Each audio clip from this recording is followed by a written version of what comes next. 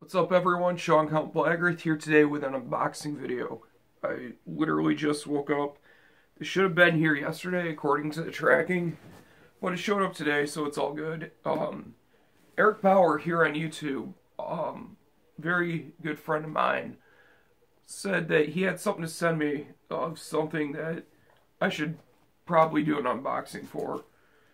So, first of all, Eric, thank you so much. Your cassette tapes I'm sending you are coming going out today or Monday. I'm picking up my paycheck today. Um, that said, let's see what's in here. Gotta be careful just because it's hard to cover up the address on this box. Just gotta be careful so uh, you fucking weirdos find out where I live.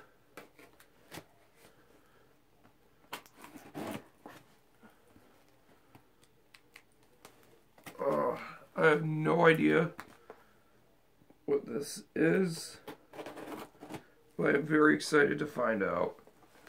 Alright. Here we go. Oh. Oh, shit. Whoa. All right. Wow. This is something I've been wanting for years and years. Um, Eric, thank you so much. This is uh, Ruhr Hunter. Uh, this is the box set. And this is such a cool box set. Oh my god. How do I open this? I missed out on this years and years ago. If you don't know who Ruhr Hunter is, they are a uh, ambient um, neo folk group.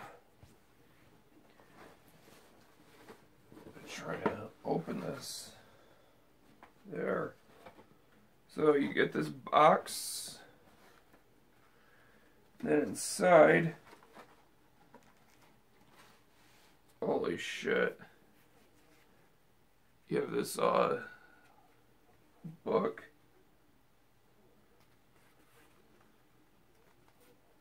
CD right there.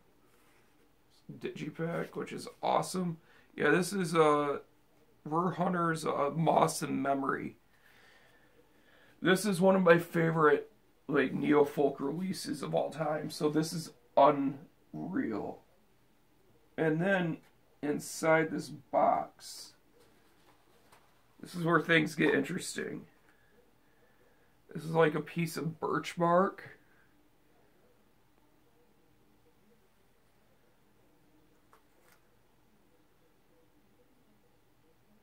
A piece of leather. Then it's like all these leaves. Uh, there's a feather, some bark. I believe this is a uh, bundle of sage. How sick is this?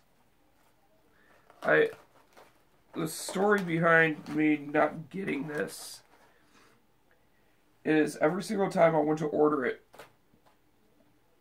it sold out and when it was for a price that I could afford it um